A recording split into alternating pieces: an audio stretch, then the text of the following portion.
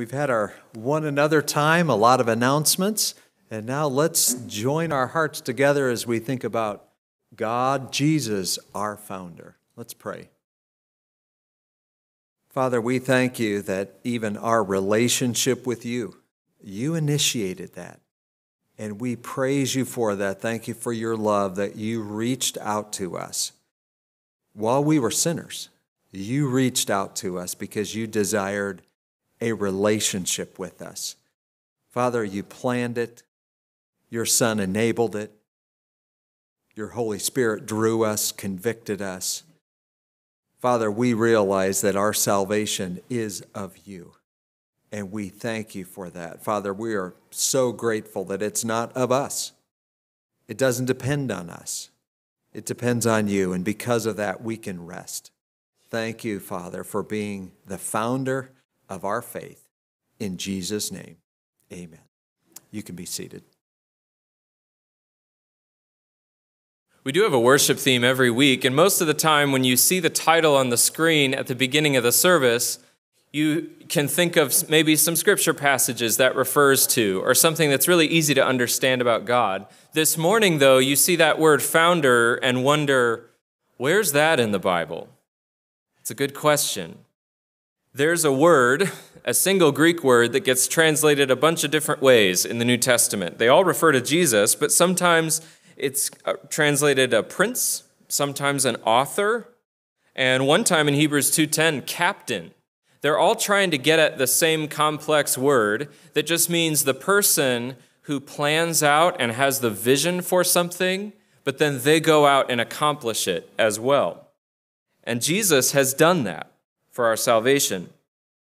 That's important to understand. It's easy to think maybe that Jesus was just a submissive victim of the Father's plan, that he wasn't in on the planning, that it wasn't his vision too.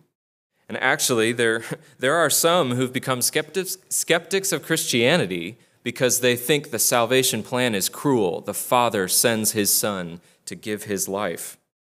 But the Bible says differently. Jesus went gladly, and he was in on it. He was part of that planning. Jesus is the, the Greek word is archegos. He is the founder. He was in on the plan. The triune God planned our redemption together. And for the joy set before him, Jesus willingly endured the cross, counting the shame a small price to pay. Jesus is the founder of our salvation. If you're in Christ today, you were part of that plan. Jesus planned to save you then he came to do the work of dying and rising again for you, and is now in the world, winning one after another after another to get in on that triumph. He willingly left the gaze of angels to seek and save the lost. But once he had died in our place with a shout, he rose victorious. It was his plan all along. He made salvation possible through his cross and resurrection, and now he is getting it done. He is sending his cry of love across the lands. From each tribe and tongue and nation, he's leading sinners home. He's the founder of our salvation.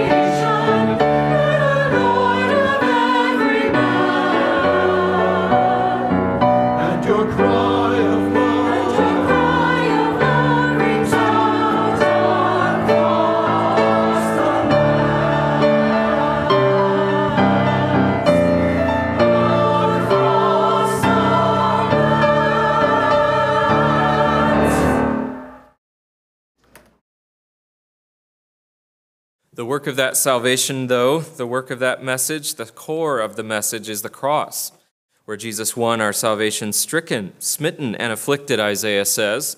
We'll remain seated to sing. Come to the cross where he accomplished the work of our salvation. Stricken, smitten, and afflicted, see him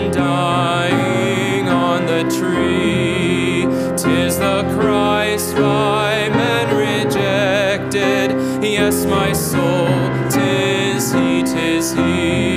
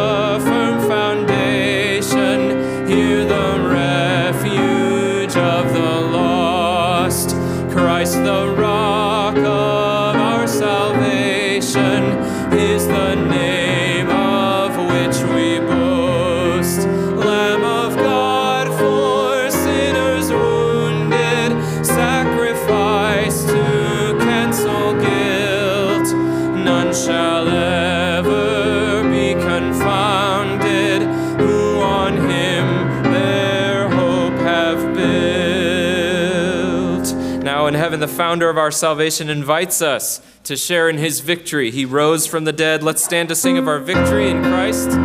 Victory in Jesus, 587, if you want to turn there.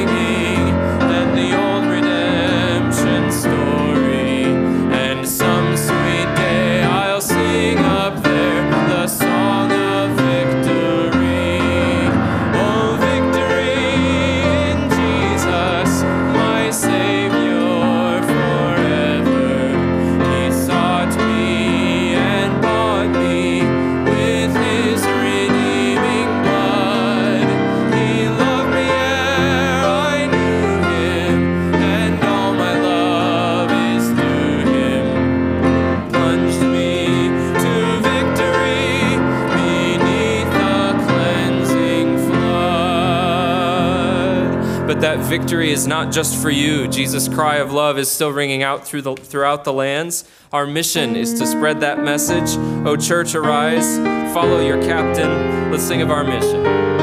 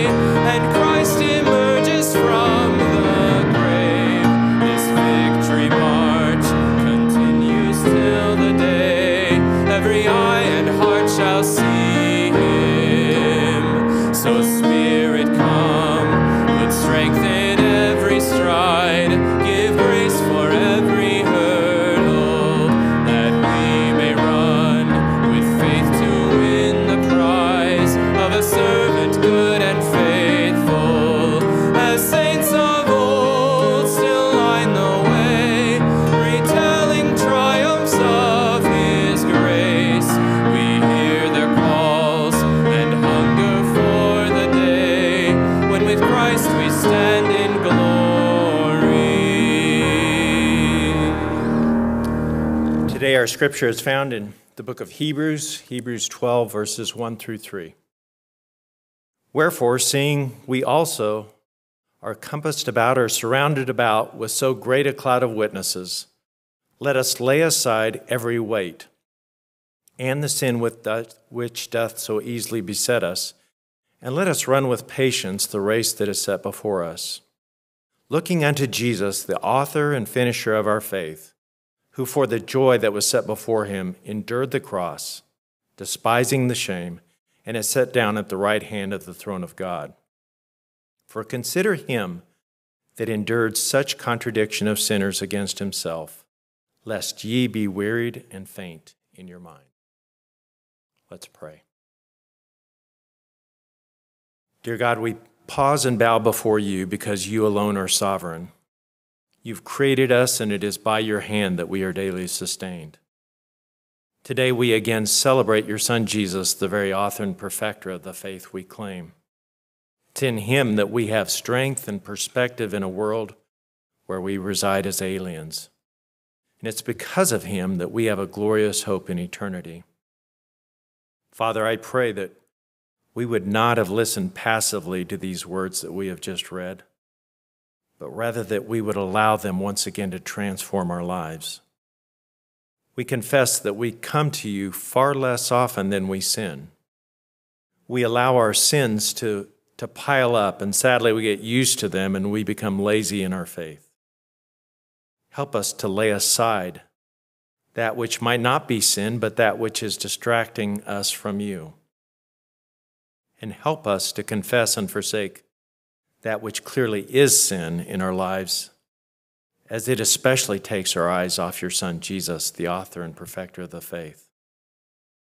Help us, Father, to not stiffen our necks in pride in these moments and refuse to repent, but help us to bow and say, Yes, Lord, I am wrong. Thank you, Father, for the perfect Savior, the, the founder of our salvation the perfect model for us to look to daily. For it's his, in His name that we pray. Amen. You can be seated. Any offerings that uh, would like to be given today can be given to the ushers at the rear of the sanctuary at the end of the service, or you can utilize the offering box as well.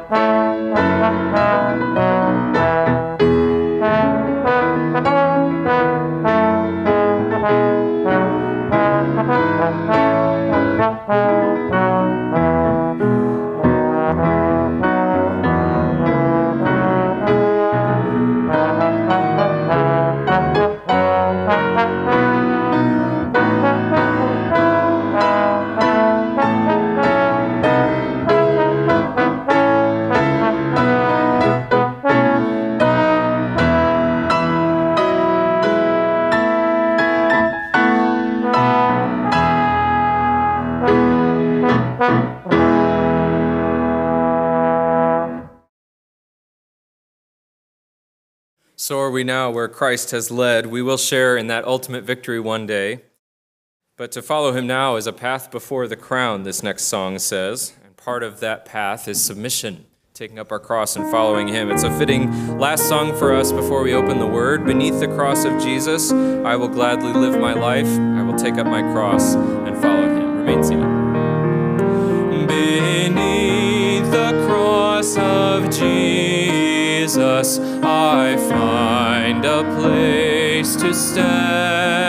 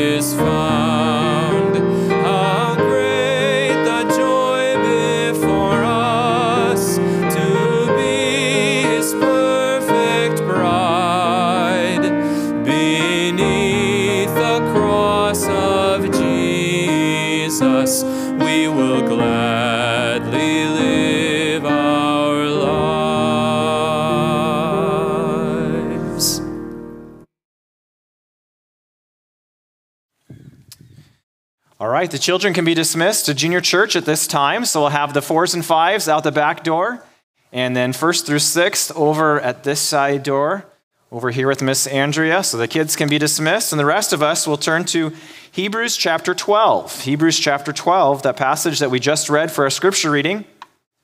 I wanted to say thank you to all of you who served in music and worship this morning.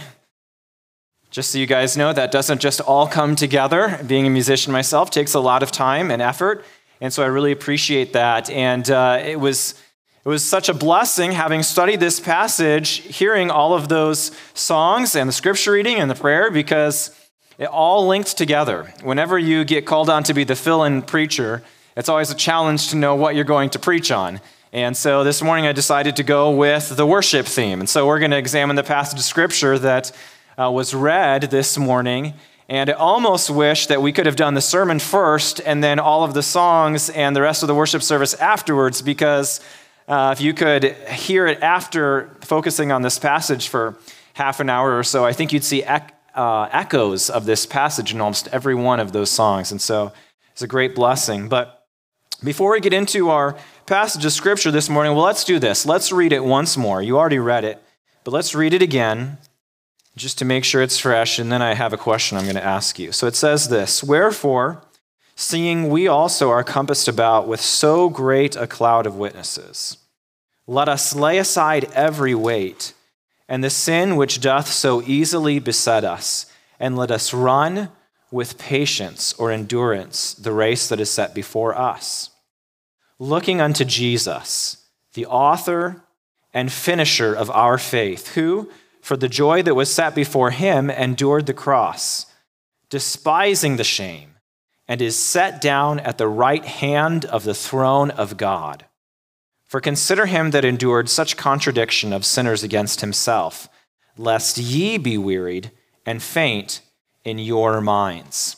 I told you I had a question as we got started this morning, and the question is this When was the last time that you were exhausted? When was the last time that you were exhausted? For some of you, maybe you say, right now. I am exhausted as we speak. Hopefully, you can stay awake during this sermon. But you ask, Pastor Chris, why would you ask that question? What does it have to do uh, with this passage of Scripture? Well, the writer of Hebrews is writing to a group of people who are struggling with exhaustion. So look with me at verse 3, Hebrews 12 and verse 3.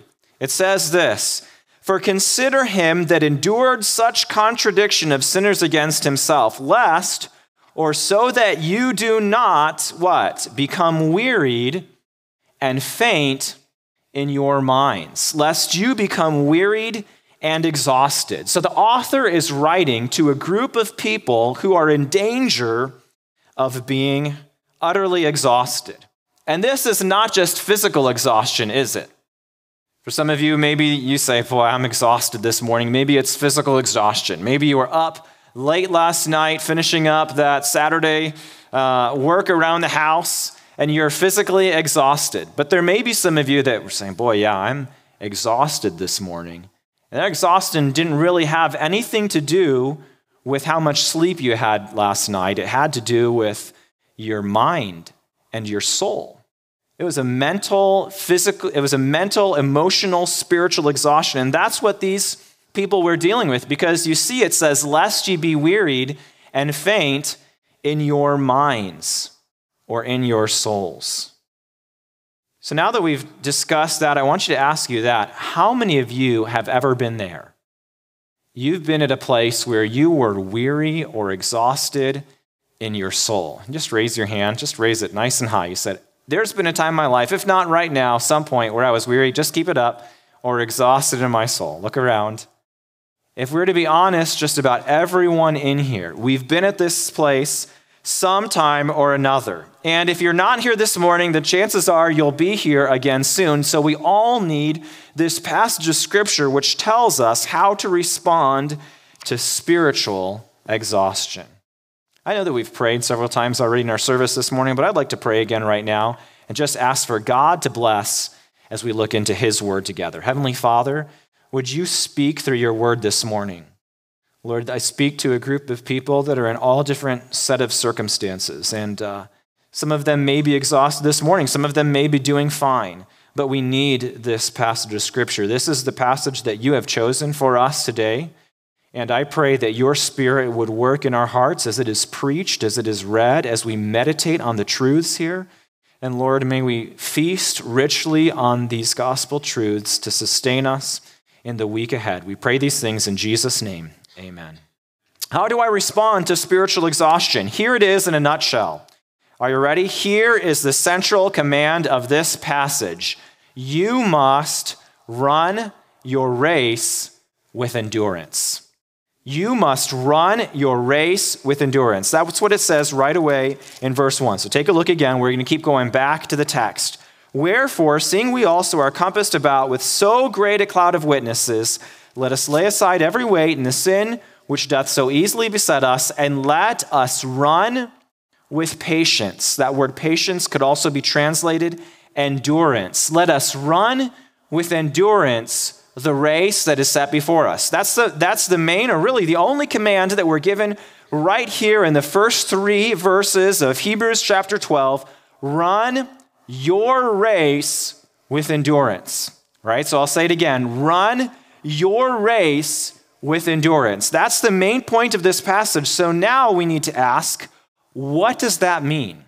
Let's just think about that for a moment. What does it mean to run your race with endurance? Well, first, what is the race? What is the race that the author of Hebrews is talking about here? He doesn't spell it out, but I think that most of us can pick it up. What's he talking about when he says, run your race with endurance? You can just shout it out. What's the race that he's speaking of?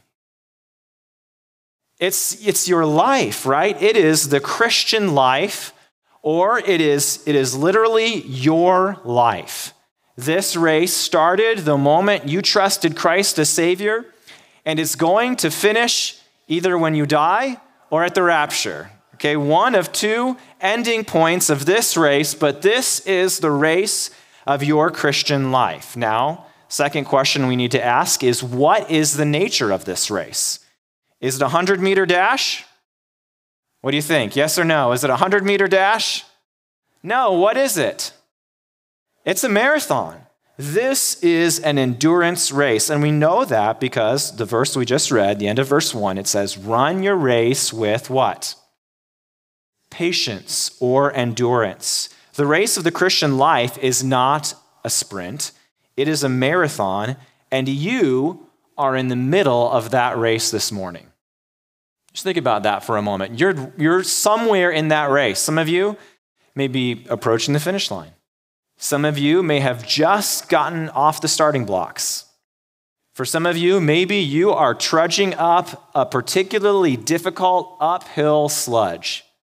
Others of you may be just sort of coasting on a downhill, nice, easy downhill part of your race.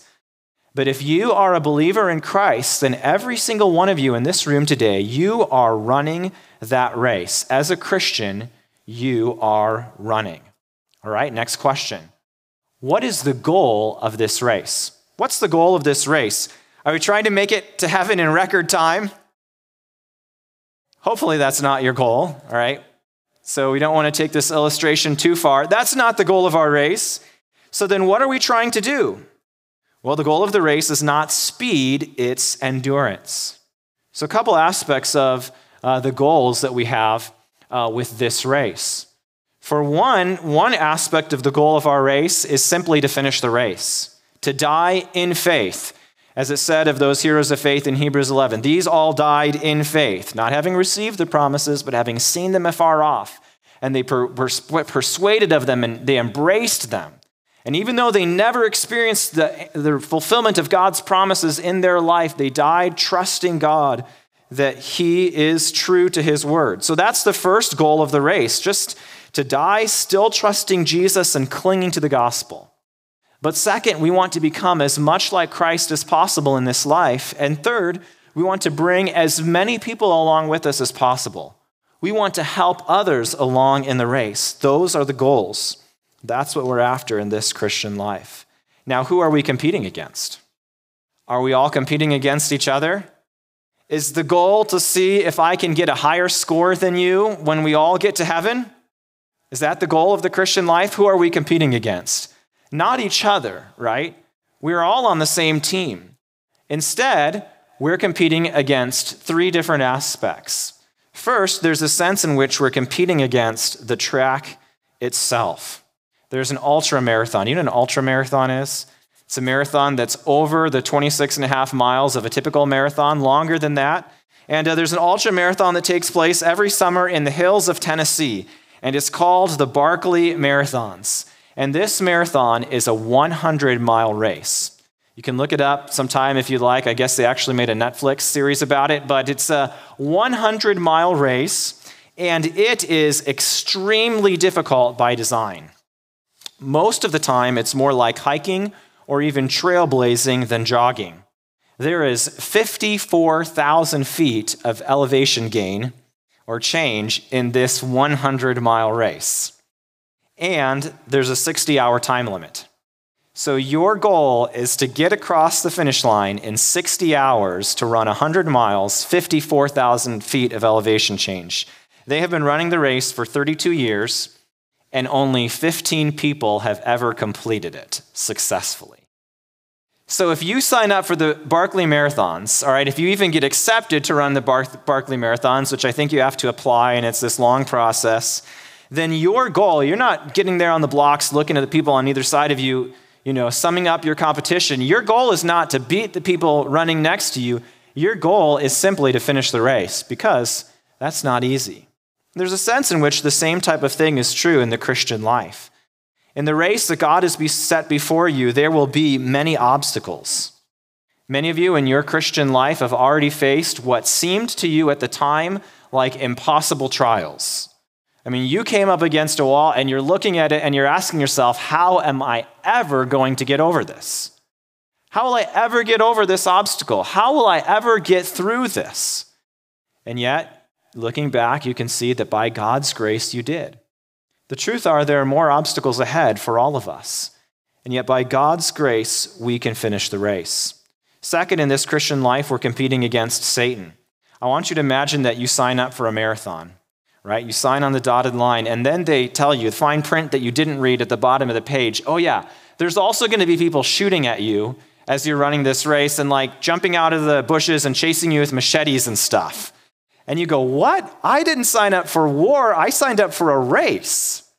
Well, I've got news for you. In the Christian life, both of those things go together.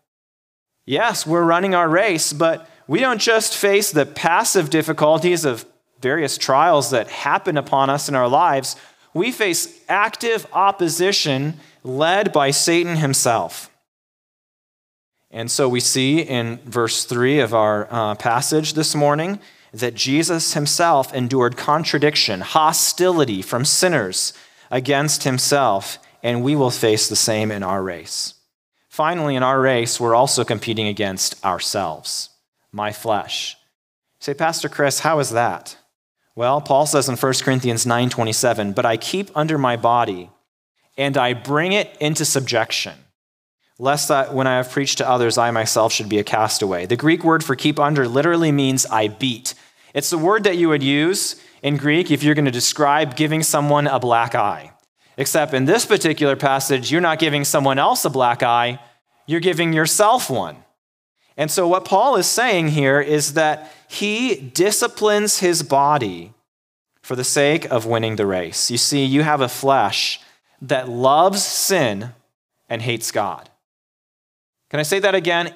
Even as a Christian, you have a flesh that loves sin and hates God. You probably already know that. You're well aware of the fact. Now, obviously, you also have a new nature, and yet there's that old part of you that still hates running this race. And just like the Olympian who must deny himself in order to win the gold medal, you must say no to your flesh if you want to win in the Christian life. So we've got our work cut out for us, don't we? That's the race of the Christian life. And some of you this morning may be getting beat up by one of those three things I just mentioned. Maybe it's the course this morning that's beating you up. Life has been hard lately, and it doesn't look like it's getting any easier. There's no light at the end of that proverbial tunnel. It's just trial after trial after trial. And sometimes you find yourself asking, Lord, what next? For some of you, maybe you're facing satanic opposition in the form of persecution. Or maybe you're killing yourself through your own sinful choices. And you know it's wrong, but you just can't seem to get out. My goal this morning is not to give you a simple three step plan for success. The Christian life is not that easy. Rather, I'm trying to convince you simply this keep running. Keep running. Don't quit. Never give up. As the writer of Hebrews says, run your race with endurance, or put more simply, don't quit. So, how do I do that, right? That's what we're called to do. Okay, Pastor Chris, I get it. I'm supposed to run my race with endurance. But how do I do that? There's got to be some kind of a, of a means that's explored here in the passage, and there is. And so, two points this morning, my two main points. First, how do I run my race with endurance? First, lay aside weights and sins. Lay aside weights and sins. So, verse 1, right at the beginning. Wherefore, seeing we also are compassed about with so great a cloud of witnesses, we want to focus on this phrase next. Let us lay aside every weight and the sin which doth so easily beset us. This first step is all about self discipline. It's about denying ourselves certain pleasures in order to obtain a greater joy. It's about denying ourselves certain pleasures in order to obtain a greater joy. Professional athletes do this all the time. They have to avoid all different types of substances. First, they must avoid illegal substances. When I was a kid, I remember watching intently as Mark McGwire and Sammy Sosa slugged it out to see who would be the first to break Roger Maris's long standing record of 61 home runs in a single season. Did any of you follow that season in Major League Baseball? It's very exciting. And, uh, and McGwire won with 70 home runs, only to be surpassed three years later by Barry Bonds, who amazingly hit 73 home runs in a single season and then come to find out later, they were all doping. All of them were on steroids. And it's like, you just can't do that as a professional athlete. How could you just throw away your entire career and everything um, for the sake of, of that illegal drug? They competed outside of the rules. And, and as the Christians in the Christian life, we have to avoid sins right? We have to avoid, as was mentioned earlier, sins that so easily beset us. But it's not enough for professional athletes to avoid illegal substances, they must also avoid unhealthy substances. So, what if Barry Bonds said to himself that season, Well, I'm not going to take any steroids because I know it's against the rules. But chocolate cake isn't against the rules. So I'm going to eat a pound of chocolate cake every single day and no one can tell me otherwise. See, hallelujah. All right. Is he going to get thrown out for disobeying the rules? Is he going to hit 73 home runs that season? No way, right? Why? Well, it's not necessarily illegal, but it's very unhelpful and very unhealthy.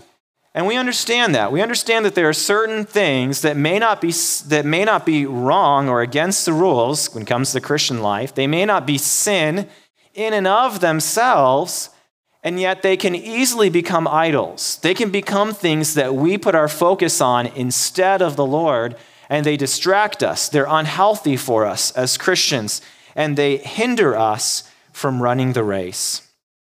There are sports you can follow, there are home improvement projects you can attempt, there are hunting trips or shopping trips or vacations that you could take that are not necessarily sinful in and of themselves, but they can become idols that distract you from Christ.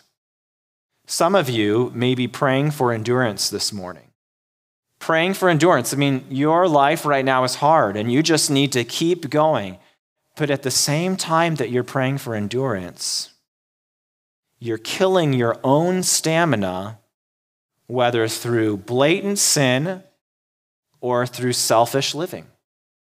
I mean, you want stamina to keep on going, but you're the problem. It's your sin that's keeping you back. It's your selfishness and those, those, those idols that have crept in and become too important to you in your life that are slowing you down. God's not going to answer your prayer and strengthen you until you lay aside the sins and weights in your life. So, how do I run with endurance? First, lay aside sins and weights. But second, you need to look to godly examples. You need to look to godly examples. Verse 1 refers to a great cloud of witnesses that surround us. Who are those witnesses? Verse 1 refers to, we've read it already several times. Someone tell me, who are those great cloud of witnesses? Okay, which saints?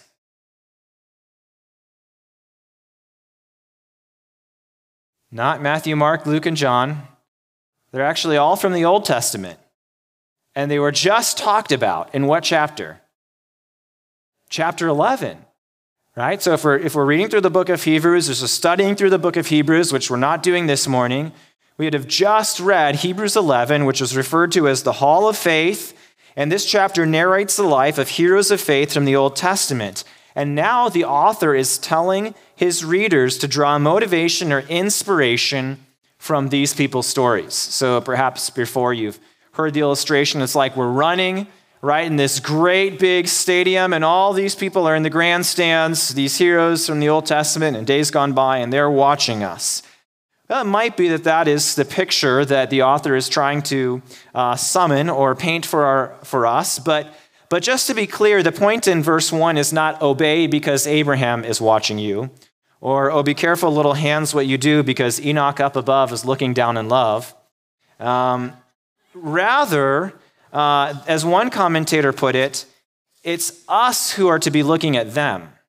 It's not so much that I'm going to do what's right because they're looking at me. God's watching me, all right? God's eyes are always on me. That's what I should be thinking about.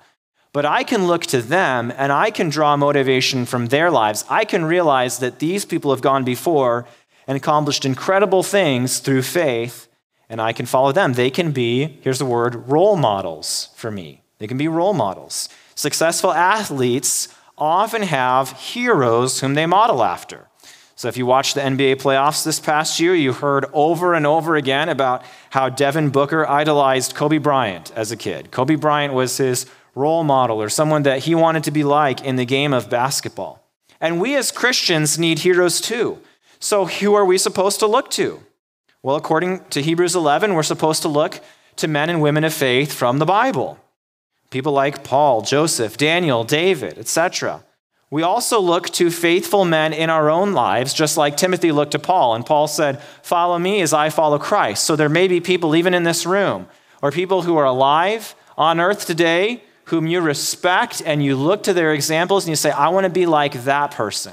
I want to do parenting like that couple.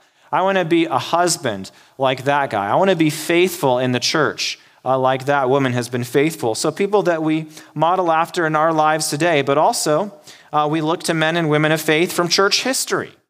Right, that's why, I'll just give a little plug for the bookstore. That's why Christian biographies are so important and can be so encouraging right? Because we are supposed to look to this great cloud of witnesses that have gone before, and we're standing on the shoulders of, of 2,000 years of church history of people who have walked with God, and we can take great courage uh, from their examples. So we look to all of those people, but what's the problem with all of those people?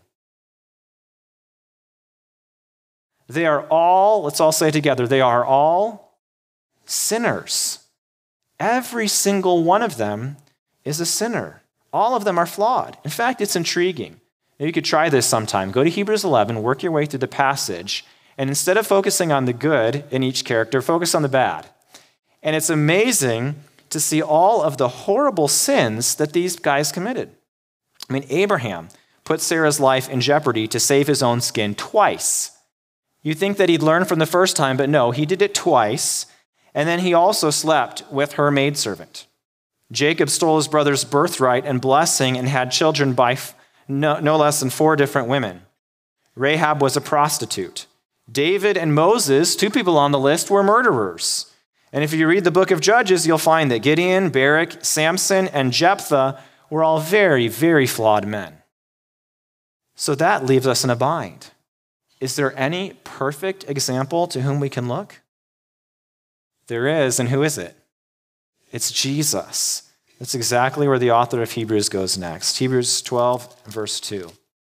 We've got this great crowd of witness, cloud of witnesses that's surrounding us, and yes, we draw motivation from them, but ultimately, verse 2, we look unto Jesus, the author and the finisher of our faith, who for the joy that was set before him endured the cross, despising the shame, and was set down at the right hand of the throne of God. So we look to Jesus.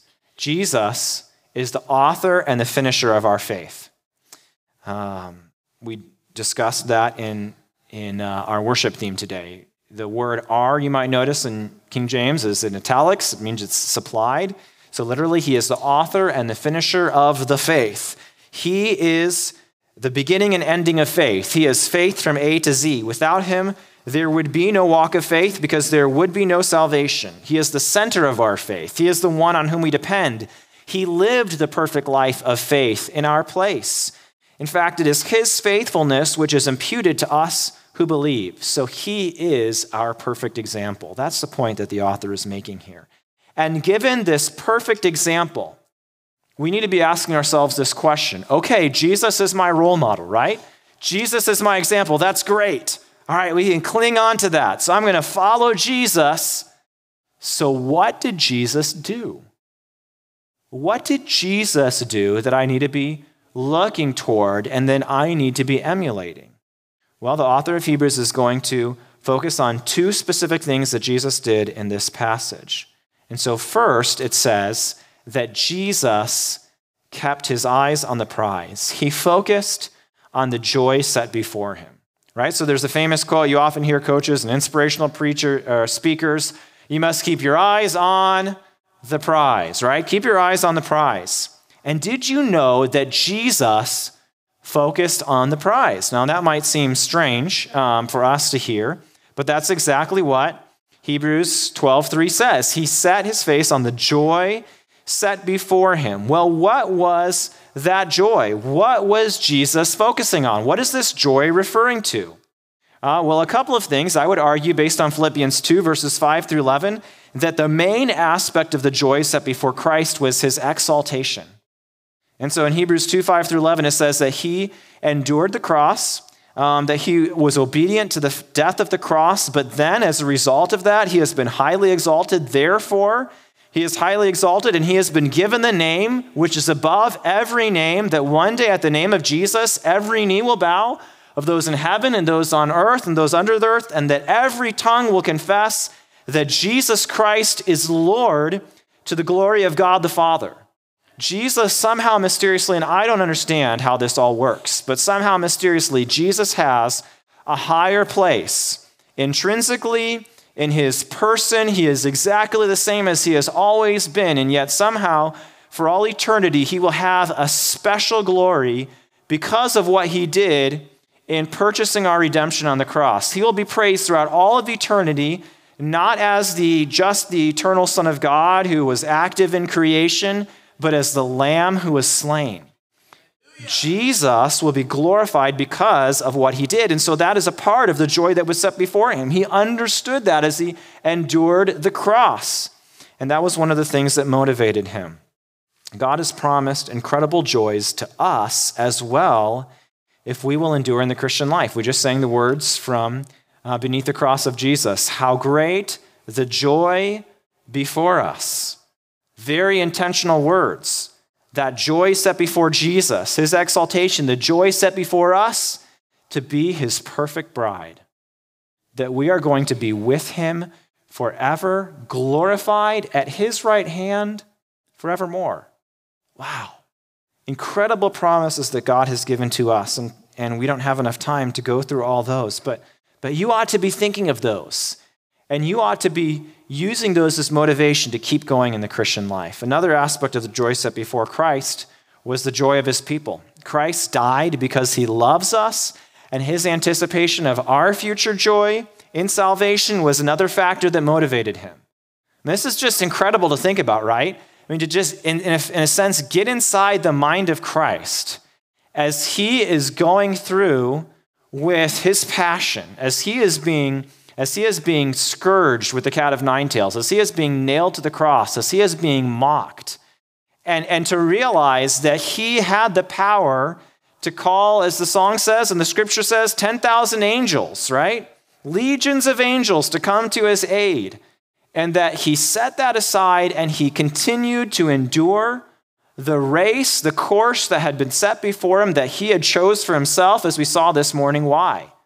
I mean, we're seeing his motivation because he knew that when it was all over, he was going to be exalted, because he knew that what he was doing would purchase salvation for all of us. One hymn that I love about missions says this it says, Look to the throne for the sake of his name. Think of the throng who will share in his reign. Some for whose souls we pray will share our joy that day, joining our song for the sake of his name. Another old hymn says, It'll be worth it all when we see Jesus. Who will be in heaven instead of hell for all eternity? Because you didn't give up in your Christian race. Because at that moment of difficulty, you didn't quit, but you kept going. You put one foot in front of the other, even though your side was cramping and it was hurting and you were exhausted and you felt like you were about ready to literally pass out and faint on the ground, as it says in Hebrews 12:3. And yet you kept going. Will be in heaven because of that? Because you didn't stop praying because you persevered through this current moment of hostility. Brothers and sisters, if we want to endure like Jesus, then we, like him, must be focused on the prize. So, the first thing Jesus did as our example is that he focused on the joy set before him, and we must do the same. But the second thing that he did was that he endured the cross. He endured the cross. Now, obviously, there were many awful things about this cross, but our passage specifically focuses on two aspects of it, of Christ's suffering the shame and the hostility. Look with me at verses 2 and 3. Looking to Jesus, the author and finisher of our faith, who for the joy that was set before him endured the cross, what about it was so difficult?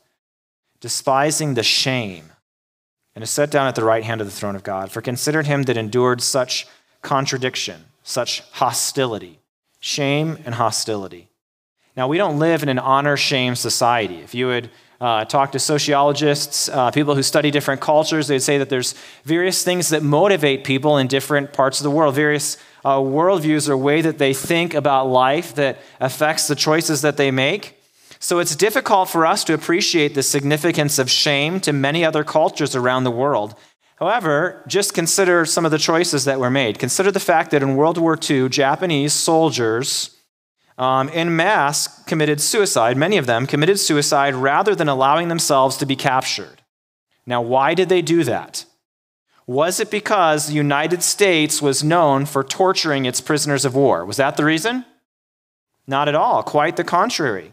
So, why do they do that? Well, it's because they had been told from the time they were little children that the most cowardly thing you can ever do is to surrender.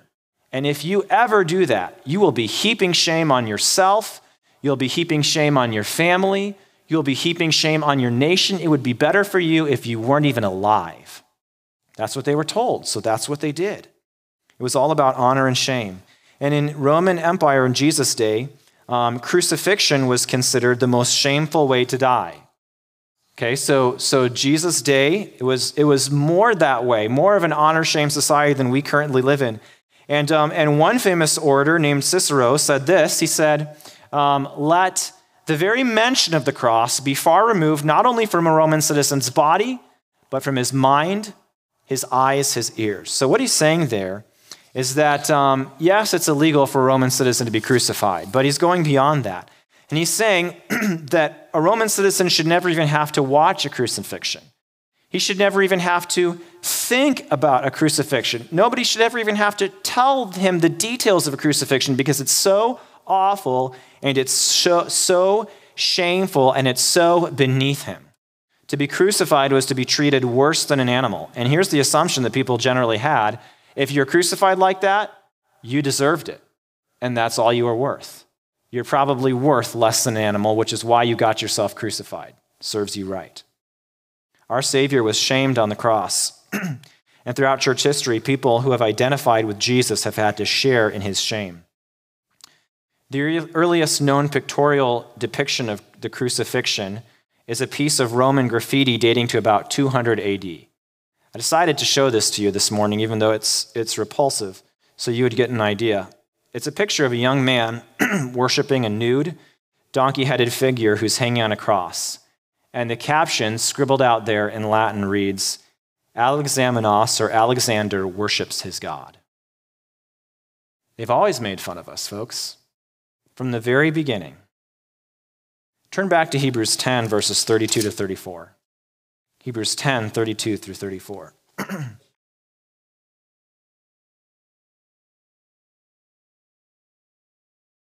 the author says this But call to remembrance the former days, in which after you were illuminated, they got saved, ye endured a great fight of afflictions, partly while you were made a gazing stock, both by reproaches and afflictions and partly while you became companions of them who were so used. For ye had compassion on me in my bonds, and took joyfully the spoiling of your goods, knowing yourselves that ye have in heaven a better and an enduring inheritance. And so, according to this verse, was one of the major ways that these people, whom the author of Hebrews is writing, had suffered. They had suffered reproach. That means uh, according to one Greek dictionary, an act of disparagement that results in disgrace and insult. You have been insulted. You have been made a gazing stock. You have been made a spectacle. You have been made a laughing stock to everyone around you. And just in case you think that these people had thicker skins than us and it just kind of didn't bother them, they didn't like it. We know they didn't like it, not just because of human nature, but turn over to Hebrews 13, 12, and 13. All right, now go to Hebrews 13, 12, and 13. this bothered them. This really bothered them because the writer of Hebrews had to encourage them, as we've seen in chapter 12 and also in chapter 13. He said, Wherefore Jesus also, that he might sanctify the people with his own blood, suffered without the gate. And the idea there is that he, had to, he was shunned away from everyone else when he suffered. And it says, Let us go therefore unto him without the camp, bearing his reproach, bearing his shame, bearing his insults. And so he's telling them, guys, look at what Jesus did for you. He was shamed outside the camp, he was pushed away, he was totally ignored. And so let's go to our Savior outside the camp. Let's embrace the shame of the cross because of what he did for us. These people needed to be encouraged in that way because shame wasn't easy for them to stomach. And it isn't easy for us either, is it? I think more and more so in our culture, shame is more commonly being used as a tool to silence people. You don't need me to tell you this, it's all around us. if you believe in six day literal creation, you have no place in higher academia. You don't deserve to teach our children because you are intellectually inferior. You are dumb. You are stupid. If you believed what the Bible actually says about sexuality, you're not only wrong, you're immoral, you're wicked, you're hateful, you deserve to be censored, harassed, to have angry people shouting in your face. How are we to deal with this kind of shaming? Well, how did Jesus deal with it according to Hebrews 12, 2? Let's take a look at that. It says, Looking unto Jesus, the author and finisher of our faith, who, for the joy that was set before him, endured the cross. What's that next word? Despising the shame don't you just love that phrase? I love the strength in it. Christ didn't just put up with the shame, he despised it. It captures something of the holy defiance in his attitude. He refused to let it affect him. He didn't care what anybody else thought as long as his father was pleased. Imagine this. Imagine that you're a world renowned artist, okay? And so your paintings are hanging in famous art galleries all over the world. Multimillionaires proudly display, your art in their homes. You're filthy rich, you're super famous. And as part of your philanthropic efforts, I'll get the word out, one day you go and you present to a class of kindergartners about art. And as the big final, you know, wow moment, you pull out your, one of your paintings and you show it to them. And they're all kind of looking at it. And then this little um, snot nosed boy in the back row has the audacity to yell out, That's ugly. And the and then some of the other teacher, uh, some of the other kids start joining in. Yeah, I could do better than that with my crayons. And you realize these kindergartners are heckling you. And the, pre, the, the, the, the teacher is mortified. She's trying to shush them. But as this world famous artist, what do you do? Do you go home and cry into your pillow, hide under your, your blankets and cry into your pillow that night? No, it, it doesn't bother you. Why? Because you know that these kindergartners have no idea about art. They don't know what they're talking about. And, and the, the people who understand it most, they have affirmed you. They said, yeah, this is, this is the best. This is, this is amazing, right? And so, and so you shrug it off. And similarly, Jesus knew he was the Son of God. Those who rejected him had no clue what they were talking about. They didn't know his God, they didn't know his Father. And in the same way, we must despise the shame that's heaped upon us because fact is, this world has no clue. They have no clue. So Christ endured the shame of the cross, but he also endured the hostility.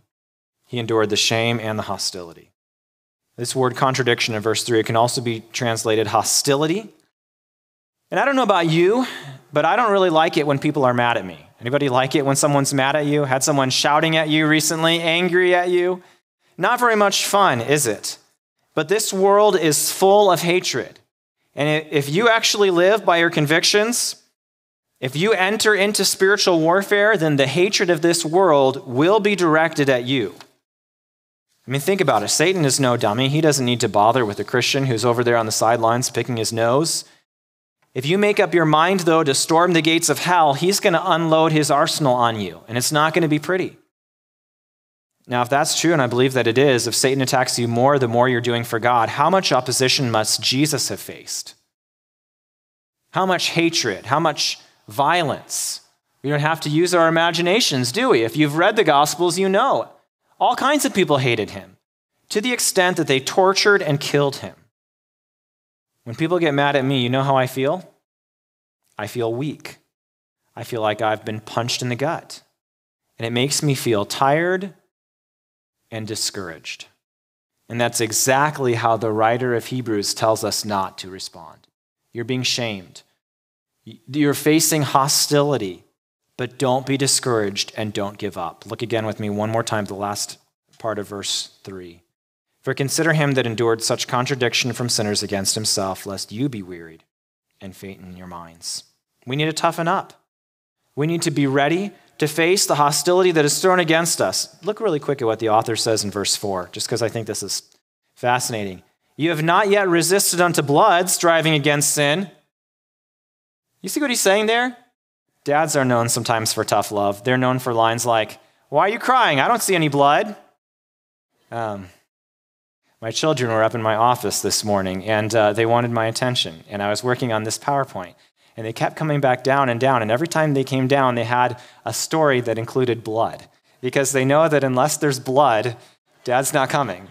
So at first it was, there's blood. And then they came, actually, that was just dried blood. You could probably never mind that one. Oh, there's blood again. So it's right. I don't see any blood. What's the problem? Now, sometimes that can come across as unfeeling. It's pretty much exactly, though, what the author of Hebrews says in verse 4. Why are you guys ready to quit? I don't see any blood yet. Your brothers and sisters around the world are literally shedding their blood. They're literally being martyred for their faith. You're just being made fun of. You lost some money. People are mad at you. Toughen up, soldier. I think sometimes we could use a bit of that grit. But of course, where does it come from? It doesn't come from just pumping ourselves up. I mean, if we want our children to stand for Christ amidst persecution that maybe is coming, how do we do it? If we want to toughen up, where do we turn? To whom do we look? When we're feeling, we feeling weary and exhausted, and the answer to all of those questions is found in verse 3, words 2 and 3. And it's simply this it says, What are the second and third words of verse 3? Consider him. Consider him that endured such contradiction of sinners against himself, lest you be wearied and faint in your minds. You say, I know that. Jesus endured the cross. No, no. Meditate on that truth. Go on a walk and think about it for a while. Let it really soak in. Read through some gospel accounts. Pray through some of those passages. Don't just take a passing glance at Jesus. If you are spiritually exhausted, can I urge you? Set aside the sin and the distractions that are weighing you down And then get alone with Jesus. Take some time to meditate on him through his word. Pray. Allow the things of this earth to go, grow strangely dim in the light of his glory and grace. And then get up and keep running. And don't you quit. Never, ever quit.